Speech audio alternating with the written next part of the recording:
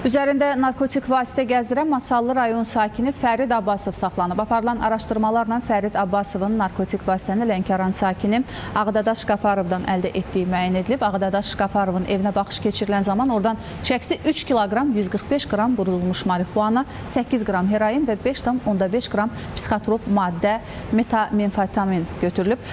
Ağdadaş Qafarovsa narkotik vasitəni Masallı sakini Hacəli Rəfiyevdən aldığını deyib. Hacəli Rəfiyevin evindən isə 383 qram qurulmuş marihuana aşkarlanaraq götürülüb. Faktla bağlı araşdırma aparılır.